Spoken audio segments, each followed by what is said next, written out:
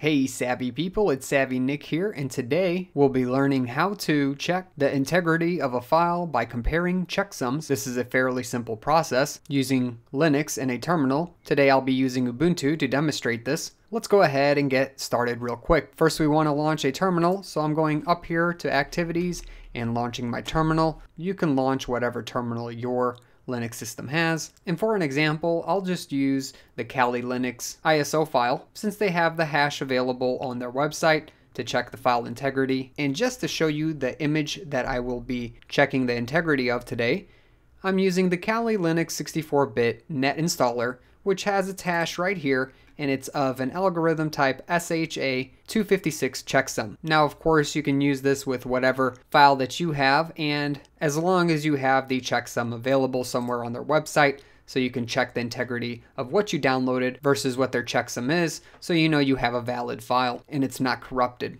Make sure to subscribe below and hit the notification bell for more Linux and programming videos.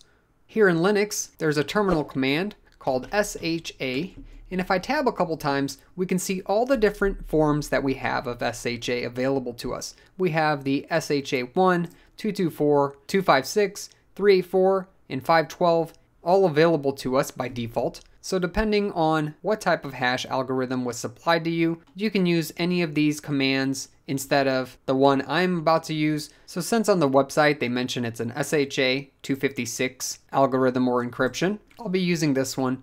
So I'm going to type SHA 256 followed by sum, and then put a space. Now I want to locate the file on my system that I want to compare the checksum of, and I can do this by navigating to the directory where it's located. Mine's located in downloads, and it's the Kali image, so I have my Kali Linux 2020.3 installer, it's the net installer, the AMD 64-bit architecture.iso file, and the next thing I want to do is put a pipe and then space and I'll type in grep. This will help us compare the SHA-256 sum output with what was given to us on the website. So I'll paste in what was on the website here and then I'll press enter. And once things are done, so if we get an output here, which we did here in red, that means that grep did find a match for what we are looking for, meaning once everything was resolved by the SHA 256 algorithm, we got an output and the output actually matched what we were searching for. And it's really that easy. You also have the option of using MD5 sum.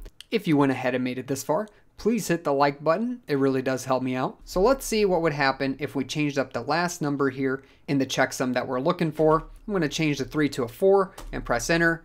Give it a few moments here and no result was actually returned to us. This is because it did not find this match with what was actually output of the SHA 256 sum. Therefore, something's wrong with what we downloaded because it didn't match what we're expecting the hash to be. And that's simply how you check the integrity of a file here in Linux using a terminal. Most Linux systems come with all of these hash algorithms by default, so you can use any of the other ones. Let's say you have an SHA 512 algorithm you can use the SHA 512 sum and then put in the file location, so something like path to file, then space, we'll pipe that over to grep, and then you'll put your checksum here in, in, place of this. This will be the general format and we can use this across the board. And just to drive things home, we have the availability of checking for the following SHA1 checksums, 224 checksums, 256, 384, 512 and let me show you how you would do that. You also have the availability of checking an MD5 hash by using MD5 sum. So here in my text editor, I'll show you the variations you can use. So we have all of the various different hash algorithms and then we have to specify a path to the file.